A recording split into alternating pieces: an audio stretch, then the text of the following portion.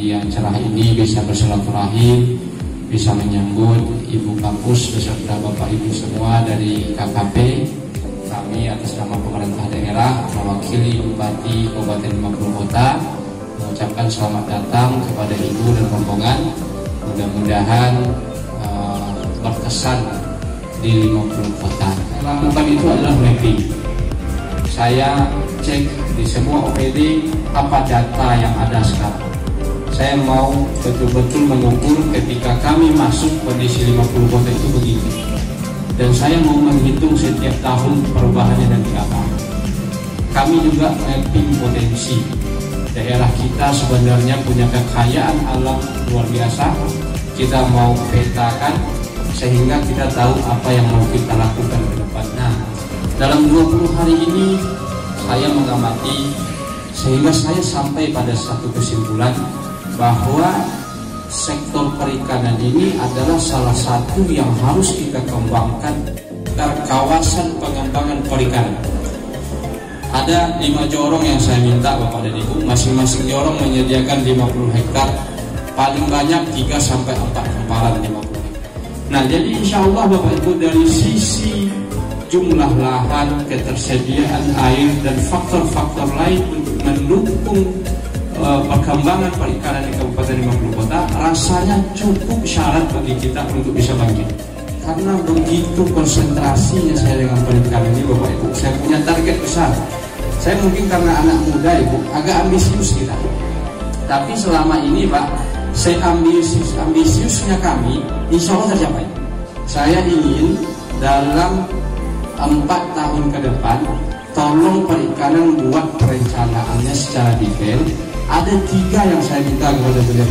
Yang pertama, kita ingin Kabupaten 50 Kota mampu memproduksi 20 juta benih setiap bulan. Apa yang di Sukamandi ya, saya kunjungan ke situ, hanya dengan ruangan kecil bisa produksi 300 ribu uh, sebulan. Beliau sampaikan modalnya hanya 150 juta anggaran bisa produksi 300 ribu sebulan. Insya Allah kita dukung dengan APBD kita ibu sangat mungkin dalam 4 tahun kita produksi 20 juta benih setiap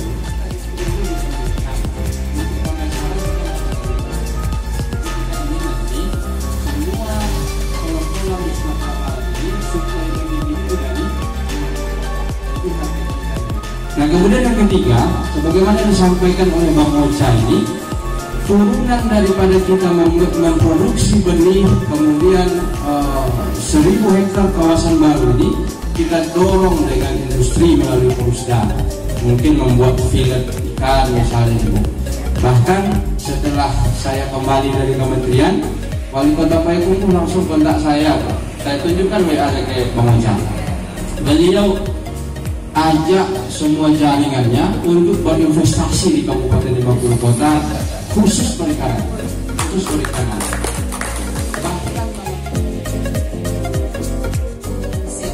Itu adalah namanya Balai Riset Kemuliaan Ikan jadi dia uh, outputnya adalah induk-induk unggul pak hasil uh, rekayasa genetik hasil apa hasil apa ya perkawinan silang ya yang membangun kampung-kampung ikan. Jadi konsep-konsep kampung ikan uh, dibangun di setiap daerah. Nah ini tujuannya adalah untuk peningkatan kesejahteraan masyarakat lokal dan sekaligus peningkatan PDRB. Jadi kalau Pak Wagub tadi sudah bisa menghitung uh, PDRB-nya berapa itu luar biasa gitu Pak. Baru semalam saya berpikir bahwa tim ini harus merumuskan existing dari teknologi kan saat ini ya, kemudian apa yang harus dibangun di sini untuk memenuhi uh, tadi cita-cita Pak Wagub misalnya ada 20 juta benih berarti kan berapa UPR yang harus dibangun untuk 20 juta itu. Benihnya benih apa gitu kan? Apakah sago apakah apa? Atau sementara gurame bima yang dari kita benih unggul dulu kemudian sagonya masuk ke lab Pak? Sago jadi ke depan.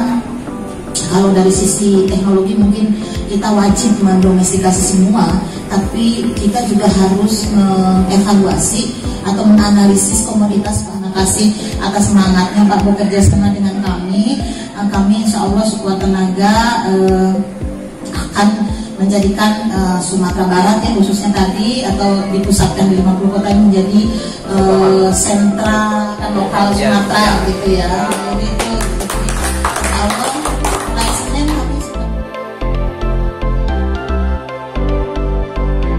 Yang keempat buka bu, buka pus ini ada potensi-potensi limbah-limbah tentang buah-buah. Jadi untuk penggunaan pakan juga. Jadi bukapus akan ke badan gadang lihat esensi perikanan suaka yang akan kita manfaatkan. Ketika itu nanti di, di apa di package dalam bentuk uh, mapsos dan sebagainya, ini yang menjadi daya tarik, Pak. Iya.